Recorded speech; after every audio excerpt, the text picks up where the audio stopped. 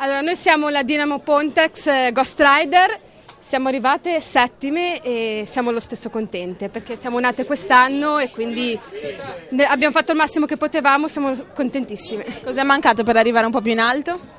Un po' più di allenamento e mm, forse all'inizio eravamo poco preparate. Punti forti invece della tua squadra? Penso che sia il gruppo, sicuramente è il gruppo, l'unione del gruppo. Come vi siete trovate con Calcio Liguria? Vi siete divertite? Sì, sì, sì, molto. È già il secondo anno che lo facciamo e molto.